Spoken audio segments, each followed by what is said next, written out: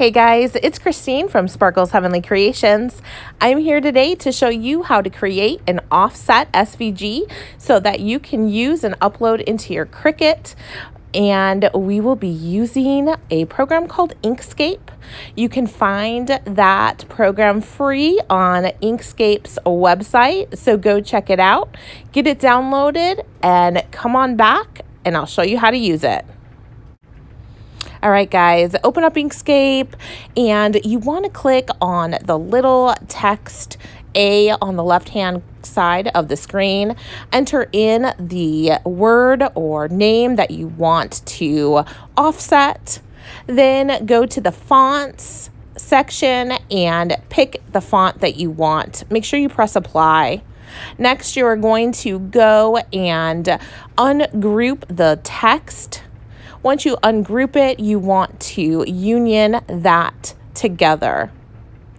You're also going to want to click the path and object to path button, copy and paste. So now you've got two of them.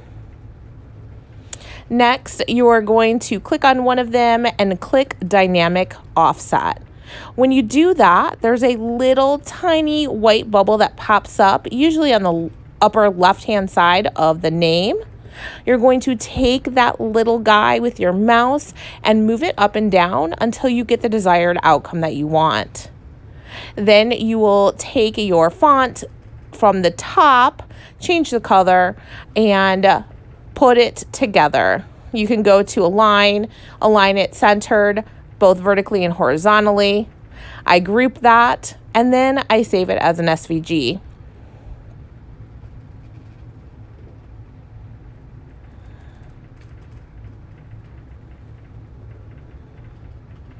Once you are done saving it, open up your Cricut Design Space, upload image, and go to that file that you just created. Upload that SVG file.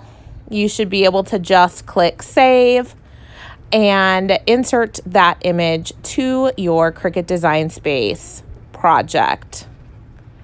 Usually it comes really small, so just resize it to the size that you need for your tumbler and there you have it. You can cut those two images out and get the beautiful offset font that you want.